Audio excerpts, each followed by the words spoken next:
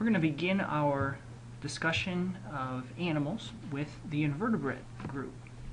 The invertebrate group is uh, one of two divisions of the animal kingdom. The other division will be the chordates.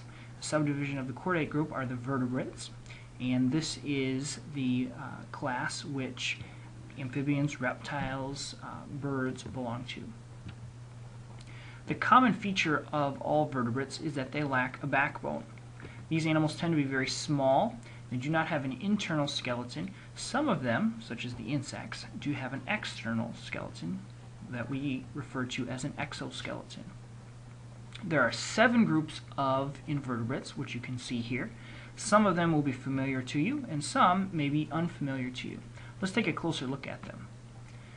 The first group, and arguably one of the most simple, are the sponges. Believe it or not, sponges are classified as animals, although they do have some plant-like characteristics.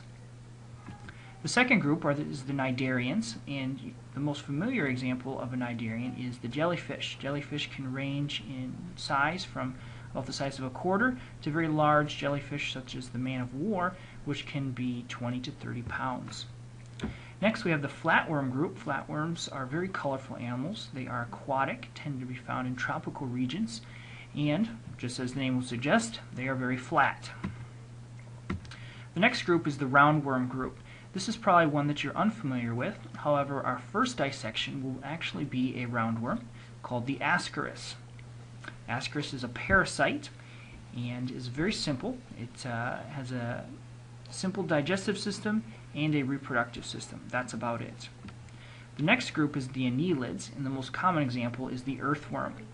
Compare the annelid uh, picture, the earthworm there, with that of the roundworm on the left. You'll notice that the annelid group has uh, rings and the roundworm has a smooth surface. One of the characteristics of annelids is that segmented appearance.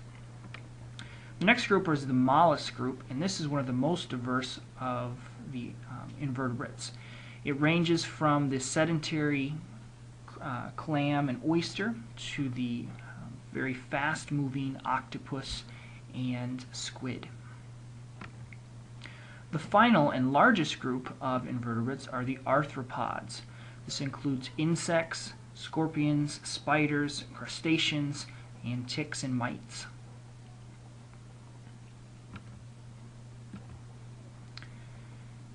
Here you see a pie chart of all the animals that have been discovered so far. The largest group are arthropods. These are vertebrates, including the insects. 73% of all animals are insects. We're very much outnumbered. 12% of all animals are non-insect arthropods. So that would include the sponges, cnidarians, flatworms, roundworms, etc. 11% of animals are non-arthropod invertebrates. And uh, in, our um, vertebrates, the purple slice there, account for only 4% of the total number of animals in existence. So this includes, that 4% includes the mammals, reptiles, amphibians, and humans. Every animal, including the invertebrates, must carry out seven basic functions. These are feeding, respiration, circulation, excretion, response, movement, and reproduction. During our dissections, we will be looking at how each animal accomplishes these seven basic functions.